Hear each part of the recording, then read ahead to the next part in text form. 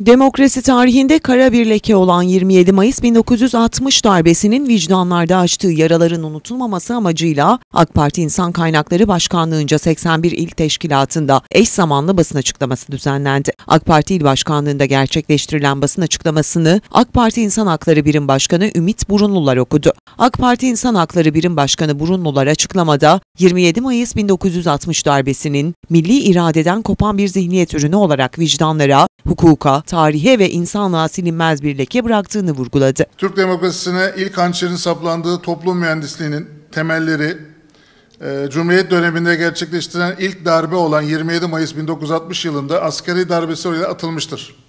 27 Mayıs darbesi milli iradeden kopan bir zihniyetin ürünü olarak vicdanlara, hukuka, tarihe ve insanlığa silinmez bir leke olarak bırakılmıştır.